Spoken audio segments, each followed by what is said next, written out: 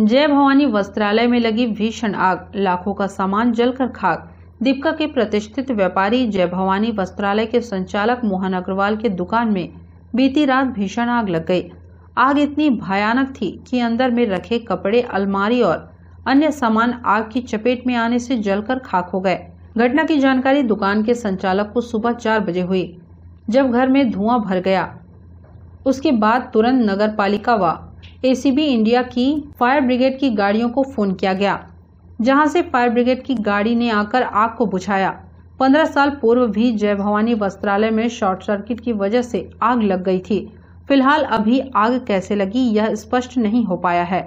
लेकिन माना जा रहा है कि कहीं शॉर्ट सर्किट होने के कारण से ही आग लगी है। फ़िलहाल दुकान के संचालक को लाखों का नुकसान तो हुआ है। परंतु अच्छी बात यह रही है कि किसी प्रकार की जनहानि नहीं हुई है।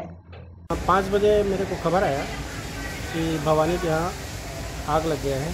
तो हमने बाहर आया और आके फायर ब्रिगेड नगर पालिका को फ़ोन किए तो नीतीश शर्मा जी भी आए और मेहनत किए फायर ब्रिगेड आया और आग को बुझा लिए आग लगने की घटना इनका घर का वायरिंग तो अंडरग्राउंड है। अब आग कैसे लगेगा इन्हीं लोग बताएँगे। कितना नुकसान हुआ होगा? नुकसान इनका अंदर का जो भाग है जो, जैसे बहुत सारे कपड़े थे और कूलर वगैरह थे, वो सब जल रहे हैं। अब उनका अनुमान, वास्तविक अनुमान उन्हें लोग लगाएँगे। मीडिया फोर सपोर्ट के लिए राजेश साहू की रिपोर्ट।